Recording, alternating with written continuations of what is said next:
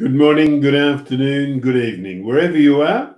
Welcome to Dumb SEO Questions, uh, episode 380. Uh, each week uh, we meet here to answer the questions uh, raised on the, the uh, Dumb SEO Questions Facebook group. With us today we have Micah Fisher Kirshner. Micah is CEO of um, well, the it, it's a group of um, a, a, an SEO um, meetup group uh, in um, certain close to Silicon Valley, um, holding a meeting um, in a week's time. We'll uh, love to hear about uh, automation processes uh, in, in the, the field of SEO. Um, Tim Capper is the CEO of OnlineOwnership.com. He's based in London. Micah is based uh, in on the west coast of the USA. Um, Tim, uh, well, I'm not too sure where he's based. Not many people. anyway, uh, uh, Tim um, uh, is uh, also a Google product expert on the Google My Business community. David Rosam uh, is uh, a leading internet marketer. He's based in West Sussex, um, down there with Prince Harry, um, on, on, the uh, southern side of the UK. And uh, Masataki Wasa is webmaster of, um, or you can find David Rosam at davidrosam.com. Um, and Masataki Wasa is webmaster of wasaweb.net. Um, he's uh, based uh, in Wimbledon um, and not far from where all of the tennis takes place. Uh, they're not going to play the, the uh, tournament this year, are they, Masat? No. It's been cancelled. Uh-huh. Okay, and um, so let's um, kick off uh, with our um, first question.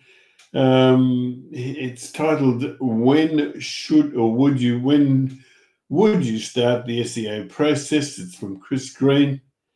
Um, Chris said, "Hi guys, if you're building a new site, when would you start the SEO process, and what would that be? For example, would you start with keyword research first, to map out the new site structure. I'd uh, I'd start the SEO process at the same time as the starting on the on the site. I would um, I wouldn't let the I, am not that much of a purist that I would say that key phrase research would uh, uh, would, would, take over entirely the choice of uh, content and structure. I think that you you've got some things that you that go in there anyway, SEO hopes or not.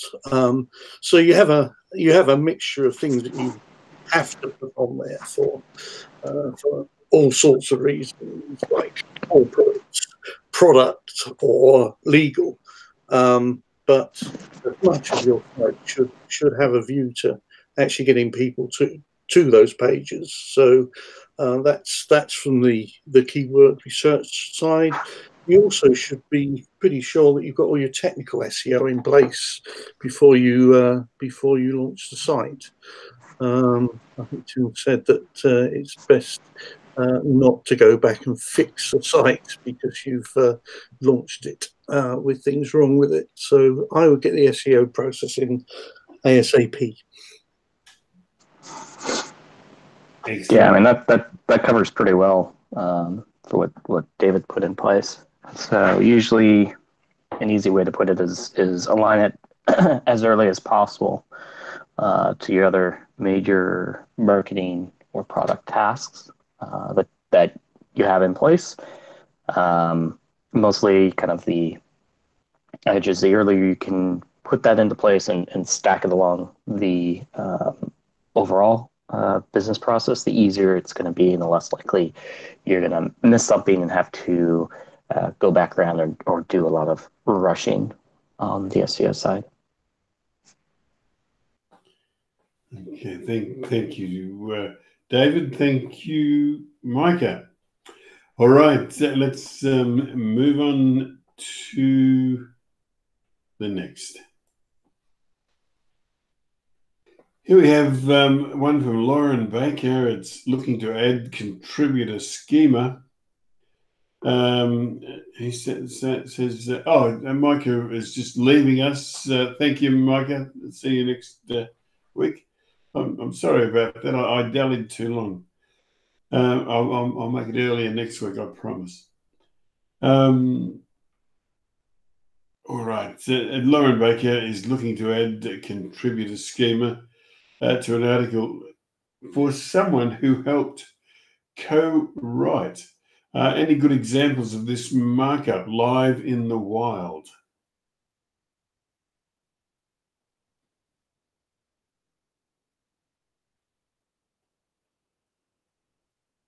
I see uh, Vahan Petrosian said, I, I think uh, specifying multiple authors in makeup should, in markup, should work fine.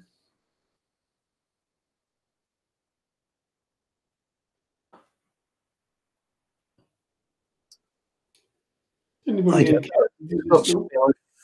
I've dabbled in.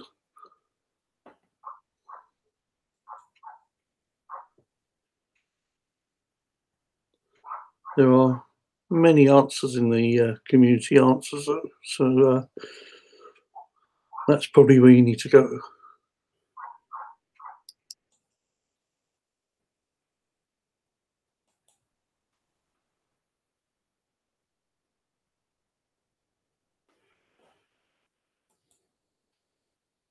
Okay. Um, look, I, I, won't try and blunder through myself.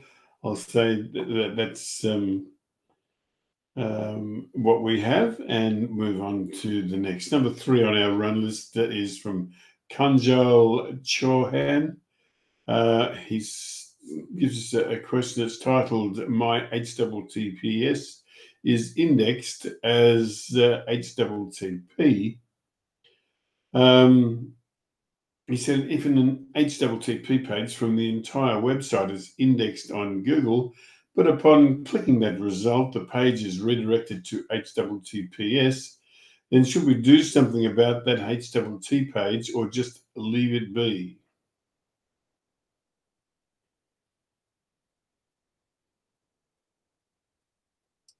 I think it depends what's actually happening here. I would suspect that you've got a uh, you've got an internal link that's H double that's explicitly HTTP um, that's being directed when you when you follow that link.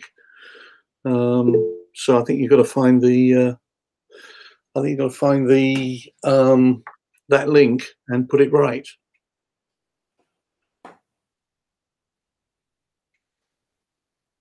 What do okay. other Thank you, David. Um, anybody else? Sorry about that. I, I, I didn't um, share uh, the desktop with the, our questions uh, on it. Um, okay, can we see them now, Tim? Okay. Yeah.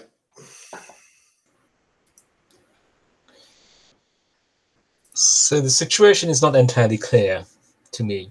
So um, there is an HTTP page um, that's indexed and that appears in Google search, but the actual page is on HTTPS. That's how I understood the situation. Um, so, you know, why is the HTTP being indexed rather than the HTTPS? And should uh, Kunjal do anything about that? Um, I mean, if it's being redirected, then I wouldn't worry too much about it. Eventually, it would move over to HTTPS, right?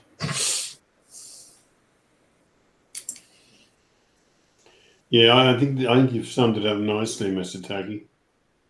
Um, yeah, unless sort of there's sort of weird issues like the HTTP version being the canonical, um,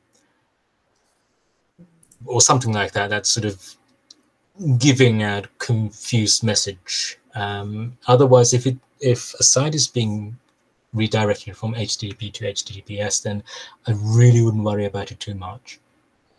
Mm-hmm.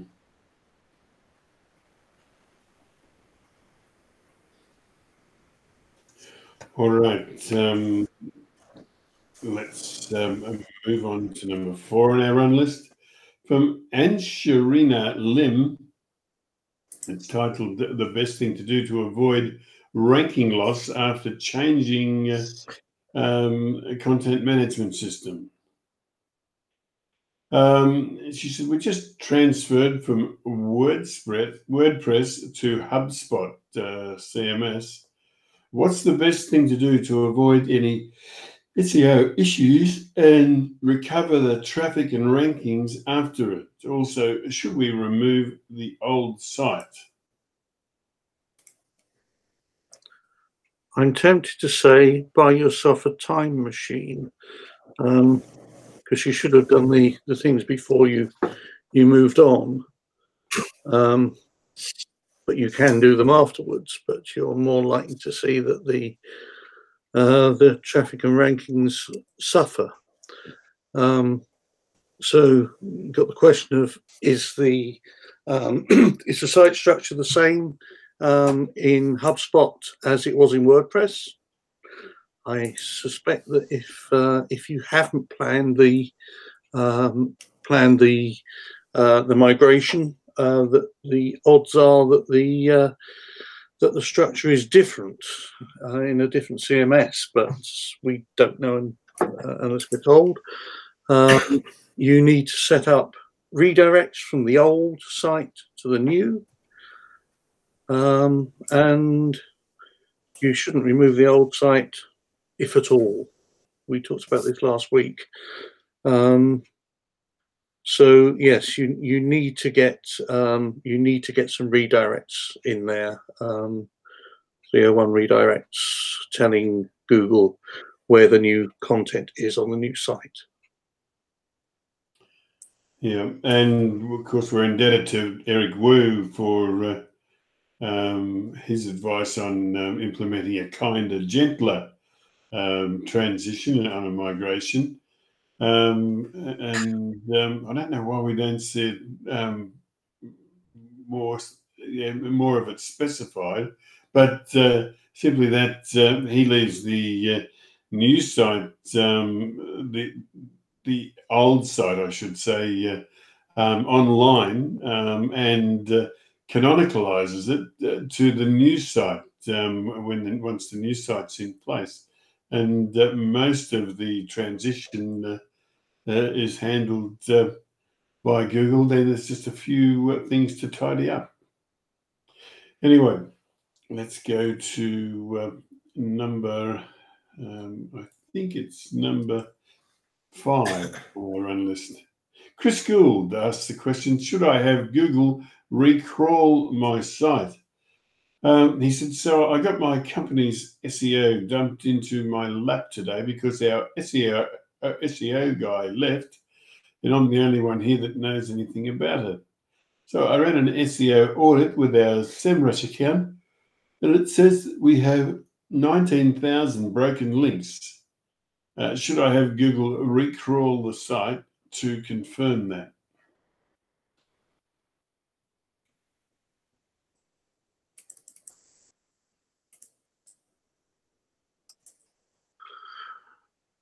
I suspect, as someone does later down, down in the community answers I scanned, um, that you've got a something uh, something in the footer, um, a, a link that that is on every single page, um, or something in a menu that's broken.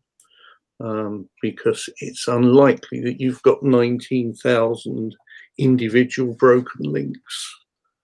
So I think you're looking for for something that would throw up errors on just about every page. I'm assuming that you've got in the region of 19,000 pages. Um, that would be a good start. Have you got in? Have you got in the region of 19,000 pages?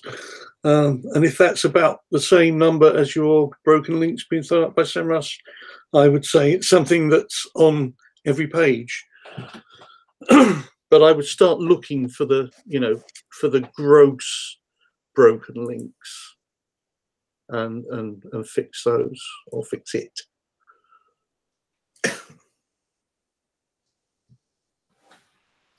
Okay. Yes, that, thank you, David. That um, uh, we'll call that a wrap. Let's go on to the next. This one, it's it's number six in our run list. It's from Jason Falls. Um, he says, "Does domain authority or traffic even matter for my goal?" That's the title, and he goes on to ask, "Okay, let's say I want to rank for keyword probiotics." Uh, not sure if he just wanted links links to go to um, his uh, Amazon um, product um, that he he's an affiliate for. But anyway, let's get him, let him get away with that if he is. Uh, he said, let's say I want to rank for the keyword probiotics, 550,000 mo- mo- monthly searches. He said, let's also say that the page I want to rank for is an Amazon product page. So it already has a very strong foundation and authority uh, build up. Um, and he gives a, a, um, a, product page example for uh, um, probiotics acidophilus. Uh, I won't try and copy it. You can see it on the uh, um, Questions Facebook group. Um, he said, assume all of these sites have the same niche relevancy. The goal is to get to page one for the keyword probiotics. Why didn't he ask that in the first place? Uh, he said, which one of these backlinks is better to go for? Um, and this is where it gets horrible, I thought. Um, he said, how many backlinks uh, should you get um, a... Um, oh, damn. Anyway, um, he, he, I, I, let that go off my screen, but um, what uh, he's um, said he, he's Oh, look, I won't try. You go. Yeah, don't even go. Just don't carry on. Fuck it, Jim. You, are terrible tonight, mate. Your ramblings, ramblings. Right, listen, Jason. So um, uh, the first thing is, is look, you already think like, yeah, DA is a human-made-up fucking thing, which we seem to, which humans seem to think is what they understand that the Google um, you know how Google works things out. So firstly, forget that crap. Um, next, you're thinking of buying links. Well, the biggest thing that you haven't even taken into consideration uh, for ranking for probiotics is that it falls into the uh, health category, uh, which Google considers your money or your life. And if you've actually looked at a search query for probiotics itself, you can clearly see how Google thinks that is already in a health category. So no matter what you think in terms of links, it's not going to help you. Your first thing you should be saying is, how can I prove my site, right, to be completely 100% utterly trustworthy that Google will consider to display me on the first page for a money or my life kind of uh, uh, uh, search query. I mean, the first thing, obviously, I'm searching from the UK. You will see it's slightly different from the States. But the first result, yeah, the first result for me is the NHS, right? Which is the which is literally the the, the UK's uh, health service. Yeah. Then we start going to Healthline. Um, then we go to Web WebMD, right? Harvard, yeah, medical clinics in the states government, um, uh, other government um, things, fact sheets, right? So no matter no matter your amount of links, from whether you want to go DA, PA, CA, flipping FBA, whatever, it's not going to help you unless you satisfy the very first basic, most basic thing to do with the Google algo and health related categories. Okay. And that is proving yourself over and above any of those government, universities, trusted health sites. That's the only way you're going to get there. Right. So end off. Thank you, Tim. Yes, I was rambling. Um, okay, let's uh, call that a wrap. There's nobody else that wanted to add to Tim's um, unequivocal answer. I, I couldn't possibly add anything to, to Tim's. No, uh, how do you top that? Yeah. uh, I, I just couldn't put, put the emotion into it either. Yeah, yeah, I was a little angry there. Okay, we're now looking at um, another one um, from Jason Falls. Maybe Jason is selling links and he wants to give some credibility to his query.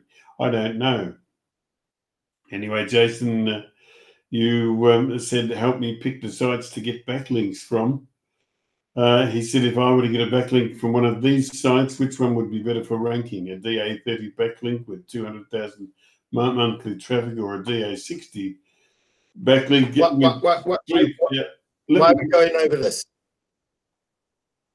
Because it's it's another question he's asked on, on the same topic. Yeah, but he's asking the same thing about DA and backlinks. I know I'm, I'm I, I totally agree, but I'm quite happy to run both of them Okay. so we can. Okay, okay, can- cool. I want to be. I'm to just gearing up. I'm just gearing up my angry answer again. Carry Well, on, Jim. Okay, mate. Well, look, get get angry about DA thirty and DA sixty backlink with three thousand monthly traffic. Um, so, um, let me see. That that that's it. Uh, Okay, have, have- have you built a head out, up ahead of steam there, Tim? No, he still looks Yeah, smart. still looks happy. Well, I, I'm I'm wondering what their snake oil uh, ranking is. Um, is is it is it higher for the DA30 or, or higher for the DA60? I think there's a, a pretty high snake oil rating there somewhere. You know, with, without without being rude um, and without being annoyed, uh, we do have these questions many times, shall we say? Um, and it's just, just don't do it. This is not the way to conduct your your SEO.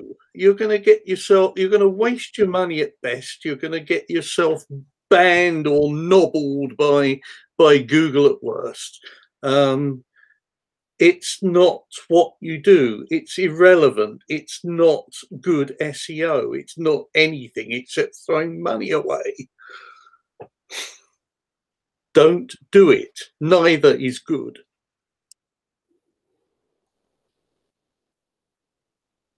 Yeah.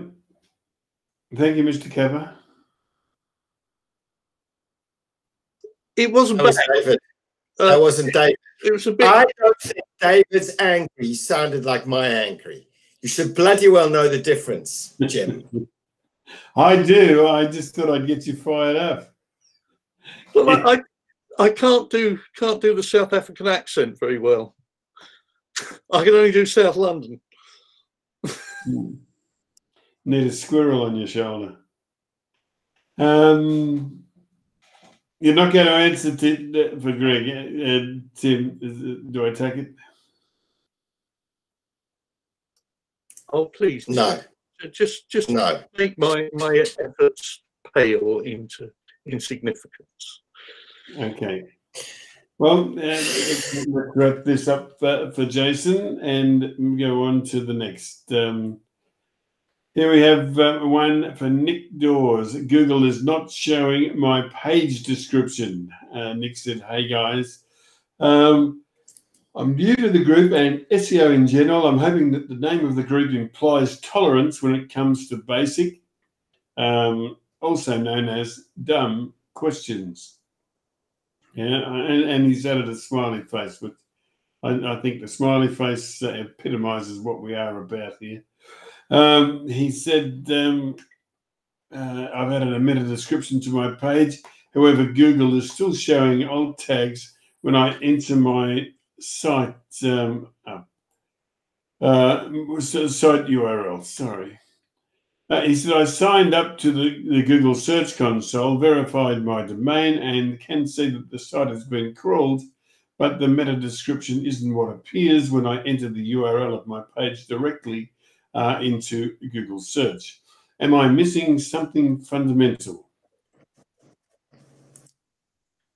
We are always very nice around here, except for when people ask about buying links. Then we might get a little bit, we might boil over a little. We might get a little bit hot under the collar. Um, but yeah, this this this is um, this is Google Google rules. Google does what the heck it wants to for reasons only known to itself. Um, seriously, um, the yeah, your meta description may or may not turn up uh, in the search results. It's nothing you're doing wrong. Um, Google uh, will decide to show it or not show it, partly down to its whim and partly down to the nature of the search and the the page content. Um, you know, you can try rewriting it um, and see if Google likes it more. Um, it depends how important it is to get that meta description over. Um, I, you know, I think sometimes I think we spend too much time on meta descriptions. And it's a good thing. You, you the argument is, is, surely right that you can uh, increase your click through with a with a good um, meta description. But so much of the time, Google does what the hell it likes. That sometimes I wonder whether it's something that that we should be prioritizing. You know, we can do we can have a couple of goes at it, and if Google's not playing ball, then uh, I think I'd move on and do something more fun. Um, that's my view, anyway. Uh, I'm sure other people will have uh, other people will have different views, but the the basic thing is that uh, Google does what the hell it likes. Okay, uh, and um, welcome, Nick. By the way, and uh, please uh, feel free to ask any question. No question is dumb. But one.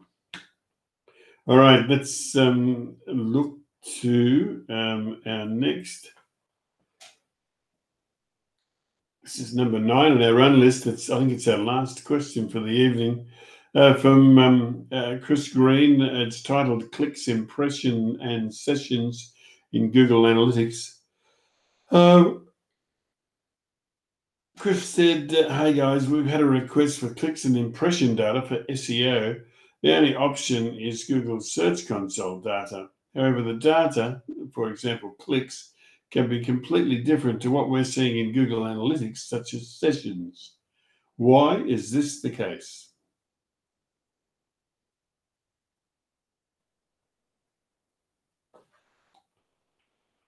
What have I done wrong?